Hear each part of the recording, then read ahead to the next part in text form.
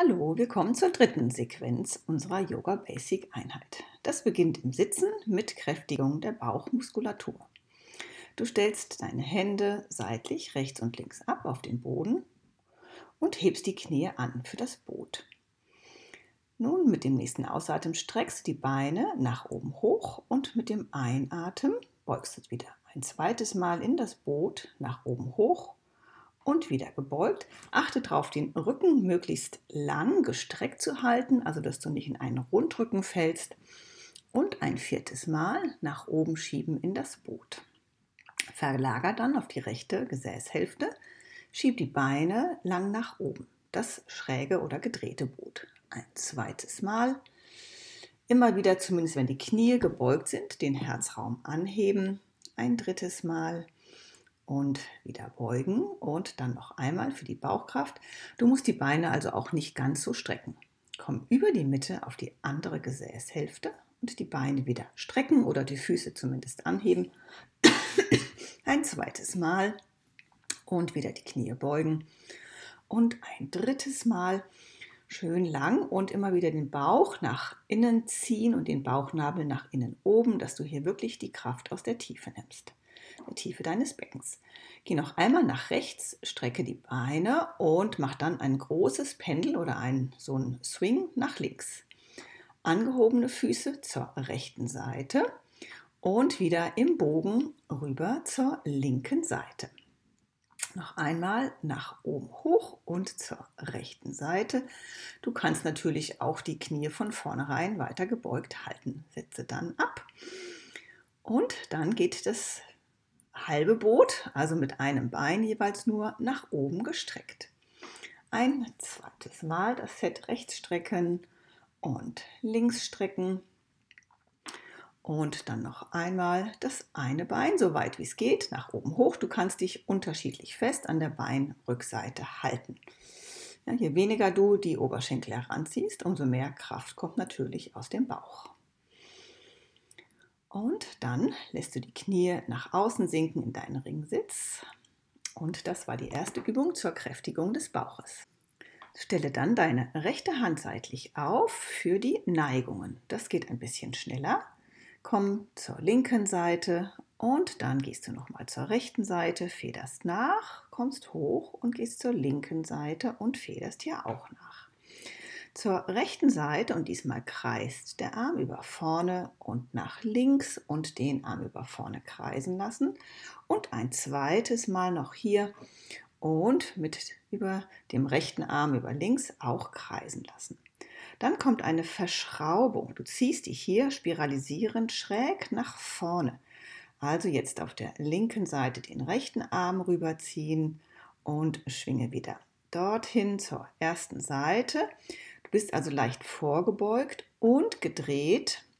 Und hier auf diese Weise hast du eine schöne dreidimensionale Verschraubung. Du kannst hier auch mal nachfedern, um noch mehr Elastizität in deinen Rücken zu bringen und federst auch auf der linken Seite nach.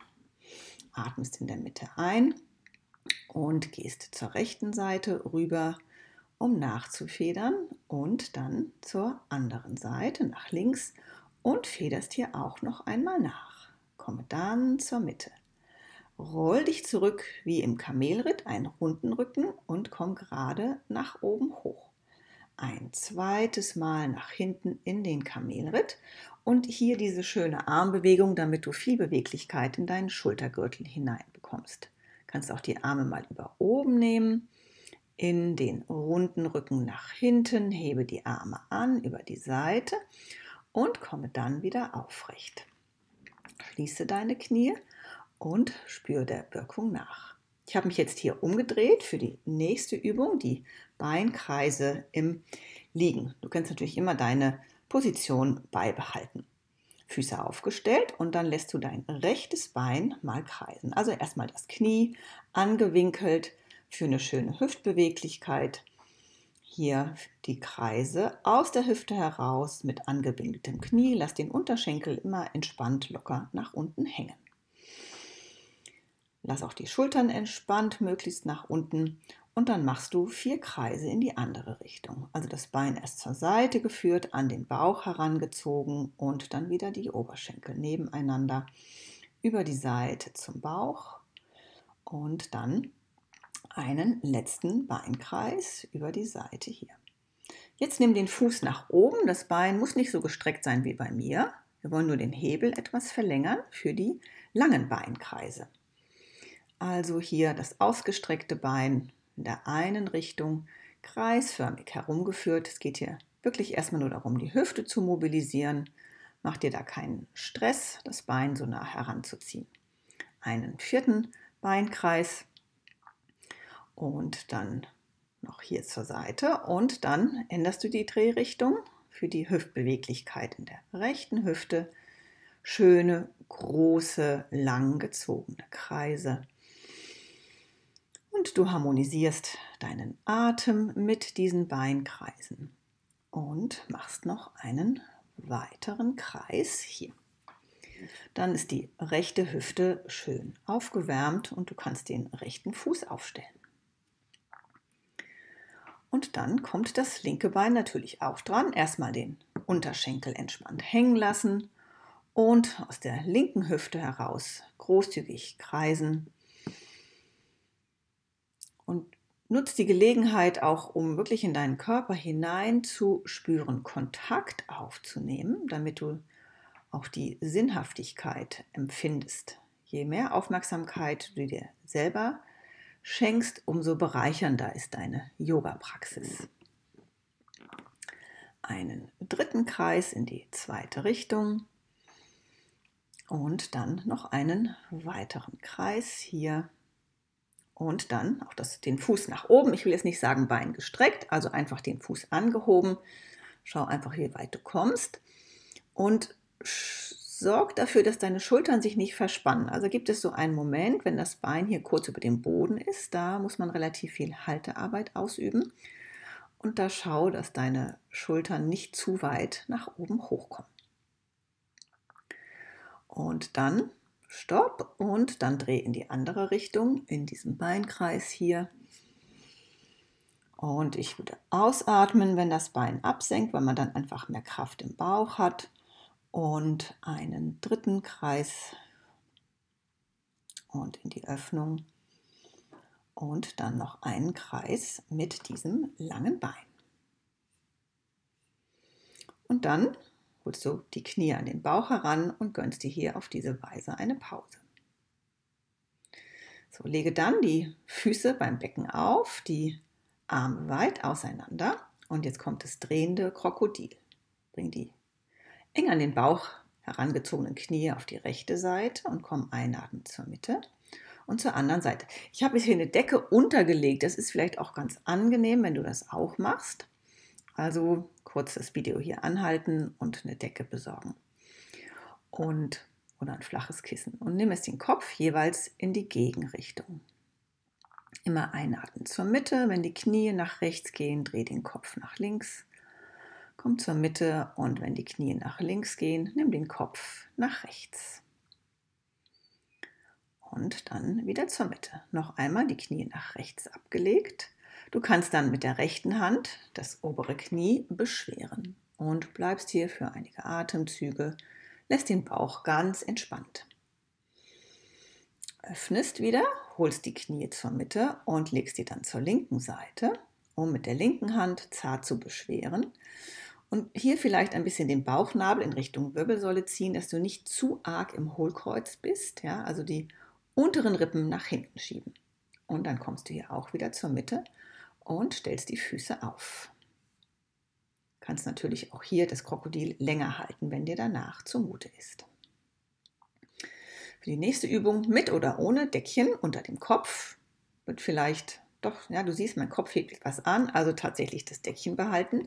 Die schönen großen Beinkreise jetzt mit beiden Beinen. Beiden Beinen. Und hier, also die Knie müssen auch nicht ganz so gestreckt sein wie bei mir, aber jedenfalls forderst du deine Bauchkraft heraus, indem du mit den möglichst lang ausgestreckten Beinen schöne große Kreise beschreibst. Und halte nach dem vierten Kreis inne. Nein, wir machen hier noch ein bisschen weiter.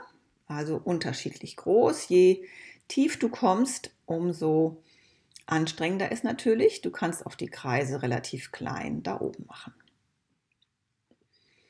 Nochmal einen Kreis hier und dann noch einen letzten in diese Richtung hier. Und dann geht es natürlich auch in die andere Richtung, ist ja klar, also gegen den Uhrzeigersinn mit diesen schönen langen Beinen. Es ist wahrscheinlich schon besser, tatsächlich den Kopf zu unterstützen. Also mach das. Wir wollen hier möglichst wenig Stress im Nacken zu haben, dass wir den Fokus jeweils auf die wichtige Partie geben können. In dem Fall hier die Bauchkraft. Einen dritten Kreis im Uhrzeigersinn und dann einen vierten Kreis im Uhrzeigersinn und dann kommt nochmal die zweite Runde hier und den fünften Kreis. Und ich würde ausatmen, wenn die Beine in den langen Hebel kommen und wieder eingesammelt. Und dann kommen noch zwei Kreise. Und einatmend kannst das natürlich auch schneller machen oder kleiner oder häufiger. Ja, wenn du richtig trainieren möchtest, dann kannst du auch 20 Kreise in jede Richtung machen. So, und dann stellst du die Füße wieder auf. Entspannst erstmal im Bauch. Hier schön Weite im Schultergürtel. Lass die Schultern seitlich nach unten sinken. Und dann kommt die Schulterbrücke nach oben hoch. Du schiebst die Fersen in den Boden, lässt das Becken ansteigen, das Brustbein angehoben, die Rippen kommen nach oben hoch und dann rollst du von oben her den ganzen Rücken wieder ab. Versuch das Becken hier maximal einzurollen und dann holst du die Knie an den Bauch heran und ziehst den Kopf zu den Knien, schiel zu deinem Bauchnabel, damit der Nacken möglichst lang ist. Lass die Schultern schön weg von den Ohren, also nicht hochziehen, achte drauf. Und dann legst du den Kopf wieder ab auf deine Unterstützung und stellst die Füße auf. Von unten her mit dem Becken aufrollen, das Brustbein hochschieben, aber auch das Steißbein ein wenig zur Decke ziehen, also ein eingerolltes Becken, nicht ganz zu stark ins Hohlkreuz, da ist immer noch genügend Hohlkreuz da, aber nimm deinen Beckenimpuls und dann rollst du von oben her wieder ab. Versuche Wirbel nach Wirbel abzurollen. Und dann die Knie wieder herangeholt, den Kopf eingerollt, Nasenspitze zum Bauchnabel ziehen, damit der Nacken möglichst lang ist. Und wieder viel Platz zwischen Schultern und Ohren. Leg den Kopf dann wieder ab und stell die Füße noch einmal auf. Komme ein drittes Mal nach oben hoch in die Schulterbrücke so die Schultern schön flach in den Boden, die Armrückseiten in den Boden hinein, den Brustkorb angehoben. Lass den Atem fließen. Drück die Fersen feste in den Boden und achte auch darauf, dass die Zehen entspannt und lang abgelegt sind. Manchmal zieht man hier reflexhaft die Zehen nach oben hoch. Heb dann die Fersen an, denn diese angehobenen Fersen ermöglichen es dir, den Rücken noch verstärkter einzurollen, von oben her Wirbel nach Wirbel abzurollen. Hol die Knie heran für Happy Baby. Erstmal das Päckchen noch, den Nacken möglichst lang. Greife dann an deinen Fußzehen oder Füßen. Wenn dir dein Kissen nicht zu hoch genug ist, dann kannst du auch eine Küchenrolle nehmen und den Kopf richtig schön hochlagern. So, dann stellst du die Füße auf und nickst die Arme mal hinter den Kopf ab. Das öffnet hier schön die Achseln. Und dann mit diesen nach hinten gelegten Armen, nach hinten abgelegten Armen, das Becken noch einmal anheben. Halte diese Kraft für die Beinrückseite, schieb die Fersen in den Boden, die Zehen lang, die Füße entspannt. Atme hier tief, vielleicht die Gesäßmuskulatur noch mal kräftiger anspannen und dann wieder von oben her abrollen. Jetzt hole noch einmal die Knie an den Bauch heran, den Kopf angehoben und die Nasenspitze wieder nach unten ziehen Und lass die Schultern von den Ohren wie immer wegfließen, damit du hier schön deine Öffnung in den Schultern behältst. Lege dann alles ab, Arme abgelegt, die Füße aufgestellt. Du kannst hier gerne die Knie gegeneinander lehnen, um nachzuspüren. Für die nächste Übung, das Hin und Her rollen im Krokodil, holst du wiederum die Knie an den Bauch heran. Legst erstmal die Hände drauf, schaffst Raum in der Lende, indem du die Knie wirklich eng heranziehst. Und dann schaukelst du auf die linke Seite, behältst aber Hände und Knie zusammen und drehst über deine untere Schulter so weit, bis du in Richtung Rücken gucken kannst. Drehst den Kopf zurück, rollst über die Breite deines Schultergürtels, hebst das rechte Bein mit an, kullerst komplett auf deine rechte Seite, drehst den Kopf noch weiter auf der Stirn, bis du sozusagen nach hinten schaust. Und dann auf der Stirn wieder zurückrollen. Der Kopf bleibt immer auf dem Boden, lege ihn entspannt ab, einen breiten und langen und sehr flächigen Rücken und rolle dann wieder auf die linke Seite, drehe den Kopf noch weiter ein. Und dann wieder so einen richtig ganz schwer abgegebenen Kopf über die Schultern, über den ganzen Rücken rollen und noch einmal auf deine rechte Seite und im Kopf maximal umhergedreht. Und dann kommst du wieder zur Mitte und schaukelst noch einmal hier Du kannst natürlich auch länger jeweils in der Drehung bleiben. Aber es ist ganz erstaunlich, wie man von Mal zu Mal mehr Beweglichkeit in diese Wirbelsäule bekommt, der Kopf sich also auch immer weiter drehen kann. Nochmal auf die rechte Seite und den Kopf noch weiter drehen. Die linke Schulter sinkt immer weiter nach unten ab. Und dann noch einmal zur Mitte und dann legst du dich komplett auf die Seite und bringst die Hände nach vorne, sodass die Handflächen erstmal aufeinander liegen. Öffne dann deinen linken Arm ganz weit in einem Bogen, dass du jetzt im klassischen Krokodil bist und sammel den Arm wieder ein. Leg die Handflächen aufeinander. Noch einmal, während die Knie übereinander bleiben, öffne den linken Arm und führe den Blick zu dieser Hand und den Arm wieder anheben und die Hände wieder übereinander legen. So, schau, dass wirklich viel Raum hinten Rücken ist und dann noch einmal einen großen Bogen mit dem linken Arm. Schau, dass der maximal abgelegt werden kann und sammel den Arm wieder ein, die Hände aufeinander. Mhm. Ein letztes Mal öffnen und mit dem linken Arm ablegen und jetzt hier entspannt liegen bleiben. Hol dann die Knie nacheinander zur Mitte und lege sie auf die linke Seite ab. Vielleicht hilft es dir, wenn du ein kleines Kissen oder so dazwischen legst. Hol jetzt deinen rechten Arm von hinten in einem Bogen nach vorne und leg dann die Schultern wieder ab, um zu öffnen. Ein zweites Mal diesen Bogen, also immer den Kopf in die gleiche Richtung wie die Hand. Am besten du schaust in diese Hand und leg deine Schulter wieder ab. Wenn du dich hier nicht besonders wohl im Nacken fühlst, dann unterbrich hier das Video und hol dir eine kleine Unterstützung für den Kopf, ja, so ein Kissen oder die gefaltete Decke. Noch einmal geöffnet den rechten Arm ablegen und hole dann wieder die Knie heran. Und das kann man dann auch im dynamischen Wechsel machen. Also hier erstmal komplett auf die Seite, dann den Arm öffnen, die Beine nachziehen, die Beine zur Seite bringen und dann den Arm. So bis die Handflächen wieder übereinander liegen und rollen, rollen, rollen. Da muss ich jetzt über den Arm rollen.